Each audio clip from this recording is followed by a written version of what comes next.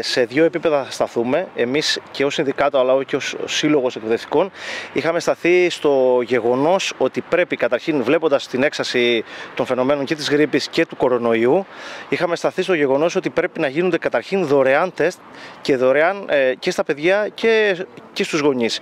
Ε, ήδη έχουμε ενημερωθεί ότι τις τελευταίες 5-6 μέρες πολλοί εκπαιδευτικοί, γιατί όπως γνωρίζετε στην Κρήτη, σε επίπεδο Κρήτης, πολλά από τα κενά των εκπαιδευτικών καλύπτονται από αναπληρωτές που είναι εκτός Κρήτης. Πολλοί από αυτούς τους συναδέλφους, κάποιοι μάλλον από αυτούς τους συναδέλφους, δεν έχουν έρθει λόγω ότι είναι σε, σε διαδικασία ανάρρωσης. Από COVID, κυρίως από COVID. Ε, οπότε σε αυτό το επίπεδο είναι το δεύτερο κομμάτι είναι που ζητάμε αναπληρωτές. Είχαμε πει και είχαμε κρούσει τον κόδωνα του κινδύνου και πριν μια εβδομάδα μετά από τις ανακοινώσεις του ΕΟΔΗ ότι θα υπάρχει έξαρση, ότι θέλουμε αναπληρωτές σε επίπεδο Κρήτης να καλύψουν αυτά τα κενά.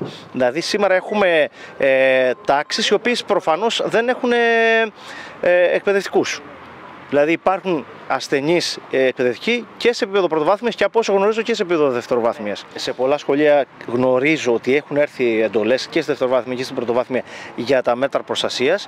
Αλλά αυτό που σας λέω σίγουρα πρέπει να κάνουμε και αυτό έχει δώσει και πρακτική που έχουμε δει και από τις προηγούμενες ε, στην πανδημία μέσα. Ε, είναι ξεκάθαρο ότι πρέπει να δίνεται πια ως άδεια.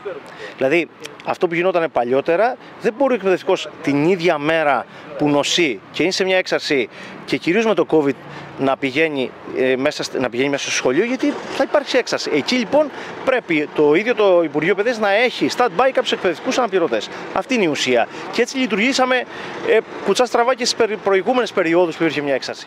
Σε πολλά σχολεία γνωρίζω ότι έχουν έρθει εντολές και στη δευτεροβάθμια και στην πρωτοβάθμια για τα μέτρα προστασίας. Αλλά αυτό που σας λέω σίγουρα πρέπει να κάνουμε και αυτό έχει δώσει και πρακτική που έχουμε δει και από τις προηγούμενες ε, στην πανδημία μέσα. Ε, είναι ξεκάθαρο ότι πρέπει να δίνεται πια ως άδεια. Δηλαδή, αυτό που γινόταν παλιότερα, δεν μπορεί ο εκπαιδευτικός την ίδια μέρα που νοσεί και είναι σε μια έξαρση και κυρίως με το COVID να πηγαίνει, ε, μέσα, να πηγαίνει μέσα στο σχολείο γιατί θα υπάρξει έξαρση. Εκεί λοιπόν πρέπει το ίδιο το Υπουργείο Παιδείας να έχει stand-by κάποιους εκπαιδευτικούς αναπληρωτές. Αυτή είναι η ουσία. Και έτσι λειτουργήσαμε ε, κουτσά στραβά και στις προηγούμενες περιόδους που υπήρχε μια έξαρση. Αυτό.